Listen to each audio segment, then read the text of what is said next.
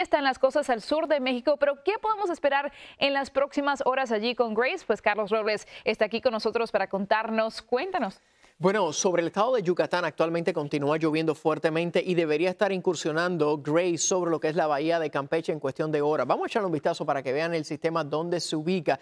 Pero primero, vean las imágenes que nos llegan desde Cancún, el mar totalmente eh, revuelto, se muestra todo el sargazo que ha comenzado a salir, tiene planes de viaje para Cancún, sepa que ese sargazo va a continuar en las playas saliendo ante el alto oleaje. Ahora bien, vean dónde se ubica la tormenta tropical Grace ya sobre territorio del estado de Yucatán debería estar en las próximas eh, horas acercándose a la bahía de Campeche, encontrando abundante contenido calórico para ganar intensidad nuevamente como huracán y eventualmente ya el viernes en la noche afectar el estado de Veracruz. La preocupación sigue siendo no necesariamente sus vientos de huracán, sino los acumulados de lluvia. Recuerden que esa zona es bastante montañosa por la Sierra Madre Oriental. Se esperan hasta 12 pulgadas de lluvia. El por qué el viento va a comenzar a chocar con las montañas y no va a tener otro, eh, más bien, eh, no va a poder realmente permanecer sobre la superficie, sino va a comenzar a aumentar en altura y esto va a permitir cantidades de lluvias significativas sobre ese sector. Pero sabemos que este no es el único disturbio. ¿Qué está pasando con Fred y también con Henry? Es increíble pensar, Fred continúa en el extremo noreste del mm. país, en Connecticut, en Boston, está generando lluvias y tormentas, inclusive severas con reportes de